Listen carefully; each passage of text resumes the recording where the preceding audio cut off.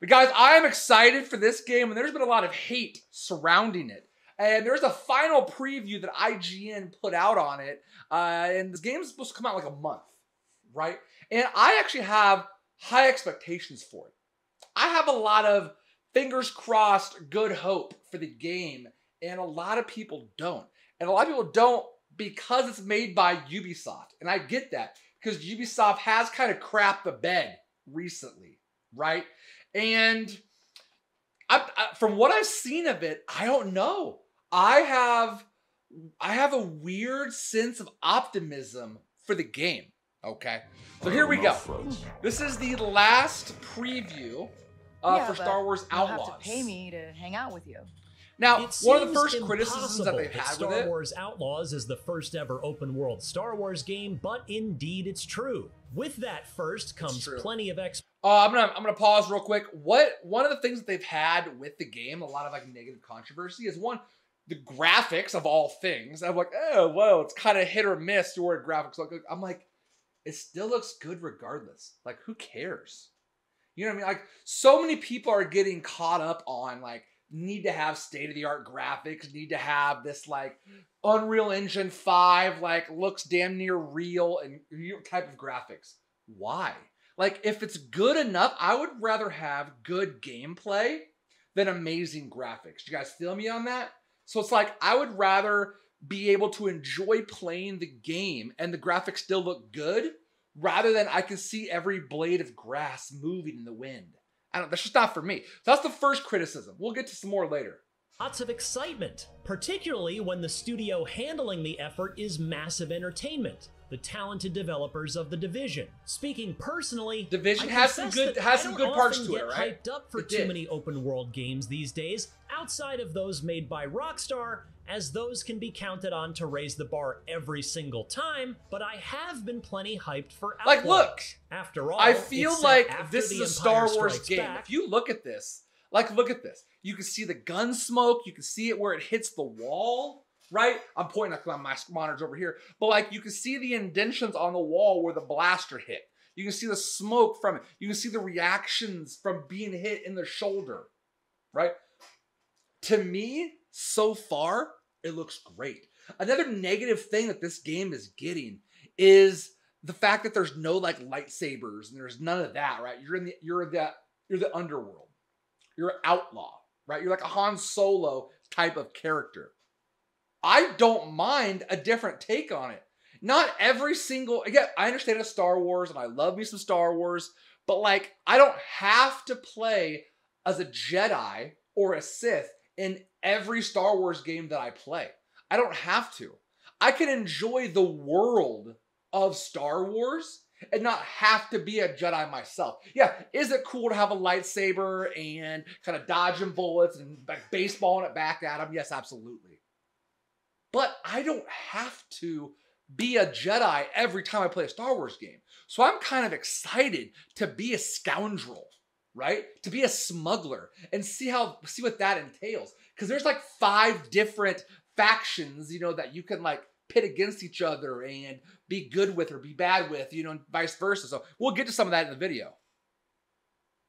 You play as a Han Solo caliber scoundrel instead of yet another Jedi, and you've got an awesome alien creature pet named Nyx by your side at all times who promises to have an impact on gameplay and not just follow our hero Kay Vess around being adorable. In other words, it's got a lot going for it on paper. You don't have to play as Spartans in worry, Halo 3 the, uh, ODST, and that next game was job still will phenomenal. And while it You don't doesn't need to seem be like st- Outlaws Exactly, will do I any agree with you. Rockstar-like bar raising, after playing a near final build of it for four hours across two different sections of gameplay, I can say So it's far, still one of I'm my excited most for this game. anticipated games yet to come out in a busy second half of 2024, and it feels very Star Wars in all the right ways. Right.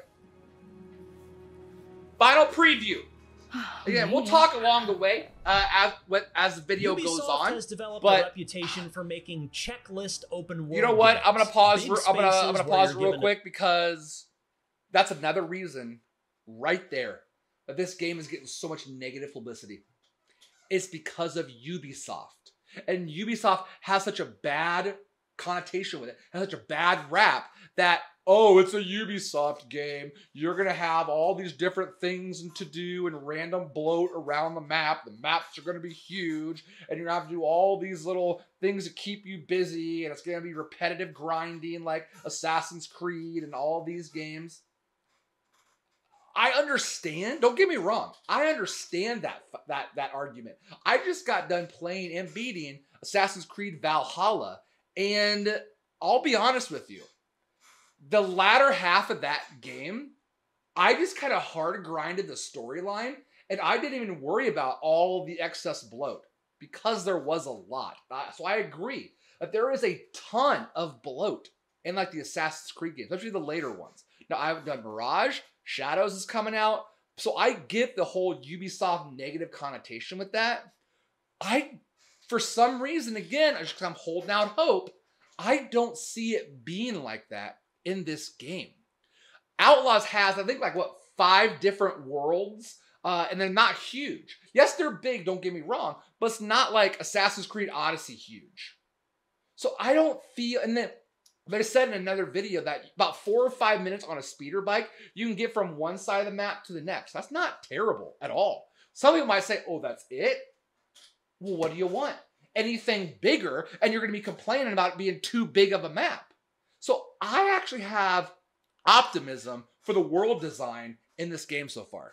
The to do list of side quests and activities to complete outside of the Golden Path. Generally, this is not a compliment. But one of the things that impressed me about Star Wars Outlaws is that I didn't get the sense that I was just checking boxes to inch closer See? to 100% game completion. See? Don't get me wrong, there is plenty to do in Outlaws, but mm-hmm. those side quests and activities feel a lot more organic than they do in the publisher's other games. For example, while wandering around the town of Mirogana on the planet Toshara, I walked by an arcade minigame of sorts. I wandered up and played around and had a good time. I also stumbled Okay. upon a betting stand where I could wager on holographic horse races. Kinda like in Final I Fantasy. to bet on the right one by sheer And chocobo luck, races. which gave me a chuckle later races. when I discovered a data pad lying around elsewhere that gave me a strong hint on who to lay my money on. I also encountered Oh. a down on their luck gambling addict who begged me for money. I obliged, enabling his vice and leaving with a promise that he'd share in his winnings should he find himself back on Lady Luck's good side. Naturally, there's also a cantina, and I even saw a Look at the- sabacc look how beautiful but I this is. sufficient This funds at the really time to buy in screams Star. Wars. I feel Someone like told me that they did a great job with the ambiance of the game and the feel of All the game. of these Just from all of these activities videos that I've very seen, natural on it the planets seems and like towns of Star Wars. Outlaws, It and really that's has that true in feel to part because of the excellent art direction that makes every location ooze Star Wars authenticity. Yeah, From the so I was- lighting to the what I was just saying. architecture to the NPCs milling about, Massive has, based on what I've seen so far, done an excellent job of setting an Oh authentic my gosh. Star Wars Did stage. you see? Like people joke about the graphics. Excellent Hold job on, look, of look setting right here, an look right here. authentic Star Wars stage. Did I, did I not go back far enough? Massive Oh, there we go. There we go. From the light Watch. Okay. Watch the trees. Okay. Watch the clouds. Watch her hair as it moves in the wind. to the architecture to the NPCs milling about, Massive has, based on what I've seen so far, done an That's a excellent windy job day setting an in real life. Star Wars stage. That looks good to me. People ragging on the And graphics I'd of be it. remiss That if I looks didn't good to add me. how the story of Star Wars Outlaws only supports and reinforces all of this. Kay is just out to make her way in an unforgiving galaxy, lying or double crossing as she needs to in order to look out for number one. This plays out in occasional dialogue choices that pop up during mm-hmm. cutscenes, adding a bit more player agency to what would otherwise be a mini Star Wars in-game movie. Will those choices affect how the plot ultimately There's five different out? factions. I wouldn't bet on it, but So I like how faction you're kinda playing off each other. that tracks how much or little Now- each of One thing that I'm gonna be honest with you about the fact that there are five different factions, I'm hoping upon praying, upon crossing my fingers, legs, and arms and toes and everything, that this faction system plays a lot like the Nemesis system from the Star Wars like Shadow of Mordor and Shadow of War games. Have you guys played that? I love those games. Love it. The Nemesis system was actually patented by oh crap, Monolith? No. Was it Monolith that made them? who made I can't remember who made uh, those games, but they patented the the Nemesis system, so it hasn't been in any other game. But the way they're describing these five different factions and how like what you do for them either triggers if they hate you, if they want to help you, and vice versa. This sounds like a Nemesis system type of display, right? I hope it's in depth. That's another big thing. If they can nail this like faction, this faction uh co- co- cohesiveness, cohesiveness, cohesiveness, right? If they can nail that, I think that's going to go a long way for like the longevity and like the the depth of the game because the whole premise of this game is you are a smuggler, you're an outlaw, right? So you have to get on these factions' good or bad side, depending on how you want to play it. And ultimately, this could change your gameplay for replayability as well. Of the in-game syndicates likes you. Double cross the Hutts and you'll harm your reputation with them, but increase your standing with the Crimson Dawn. Piss off a faction enough and they won't let you into their territory, meaning you'll I, have uh, to sneak in and stay undetected This if you is want kind of a game that I enjoy playing on the What if I side. say Is no? Star Wars, uh, Star Wars, Now that you Total know War who I work Warhammer for, 3. And if you play let as you with walk out of Skaven and uh, you're Pickett, probably not wondering Pickett, no, what uh, of the moment-to-moment gameplay. the Ashen In Sorcerer, what's this, his name? Star Wars Oh my Outlaws God, made me happy. Ashen this is a Rat. stealth game if you want Um, it to be. And if you mess up in that attempt, I honestly like Wow, that you don't have a now. lightsaber to save you. You'll have to use Kay's blaster, which, yes, is upgradable, to get out of trouble, and that adds to the Uh, sense of anyway, danger he has because you're his not faction a laser has sword wielding a system demigod. in there where such, if you do the some things for one felt Skaven like they had faction, it- it meaningful pisses off stakes, another and and the vice stealth gameplay had a bit of weight to it because I knew that I'd be up against it if I messed up. Calling for reinforcements. Roger that. Naturally, with stealth comes lockpicking, and it's here too in the form of data. Deathmaster and I quite like how is. Outlaws handles it. Each lock has a particular audio signature, and it's up to you to match that pattern by pressing the right trigger Oh, in time with the beeps. The longer you attention. take, the more likely you are to be spotted. Similarly, the hacking minigame is also really fun. Here, you'll need to line up the right symbols in the right order, which usually takes multiple attempts. Fail too often and you'll fail the hack entirely. It took me a few tries to wrap my head Okay. around, but once I did, I really enjoyed the opportunities I got to do some hacking. Nice.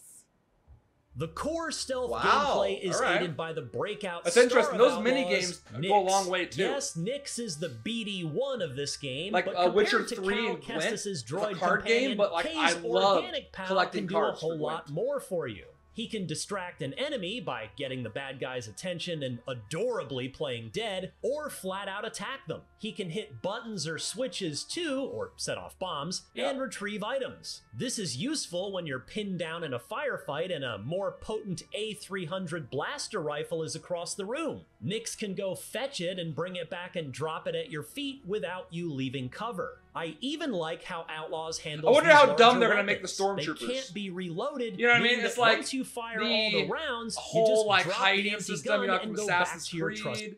From like Assassin's Creed, like you can literally be like five five feet away from them, they still can't see you. You know what I mean? So I wonder how dumb they're gonna make the stormtroopers in this, where like you're hiding. How how hiding are you? And that that's the one thing that that obviously they're not gonna hit you. They're stormtroopers. Like their, their bullets aren't gonna hit you.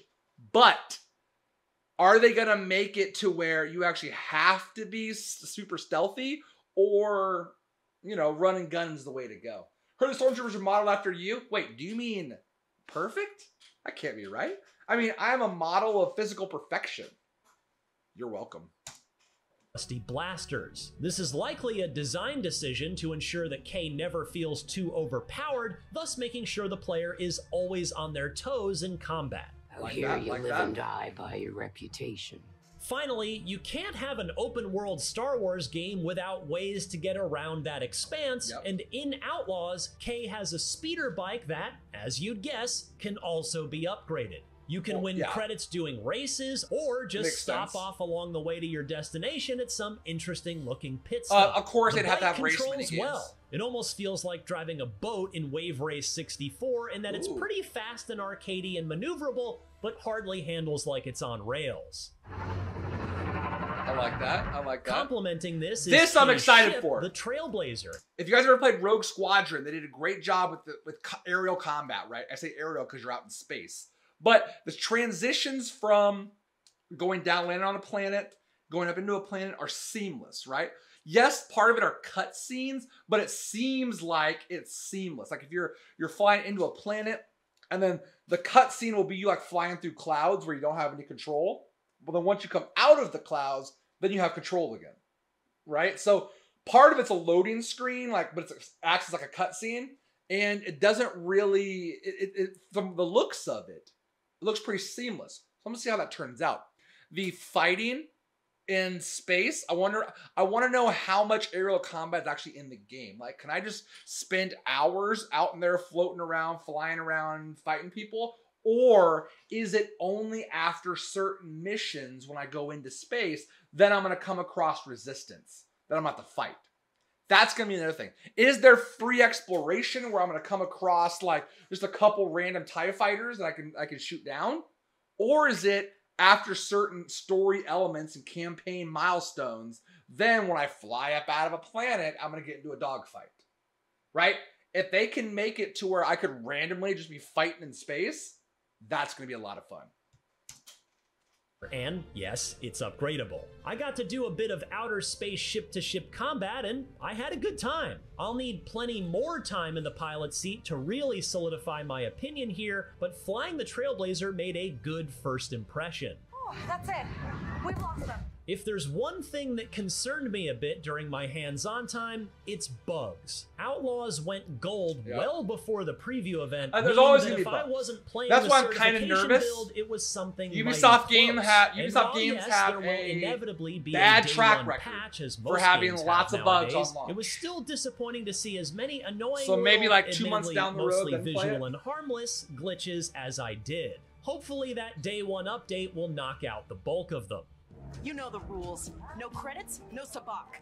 And you I may already play it like of a week after it comes Ultimately, out. though, Give I a had chance a for some fantastic time with Star Wars Outlaws. Open world games tend to be jacks of all trades, masters of none, and while I'm not sure Outlaws will master any of its gameplay components, it nonetheless not only does them all very well, but it does so with a convincing Star Wars sheen. And since Okay. there's somehow never that. been an open world Star Wars game before, it feels new, fresh, and most welcome. I'm glad this is arguably the first big name game out this mm-hmm. fall on August 30th because I can't wait to play more of it.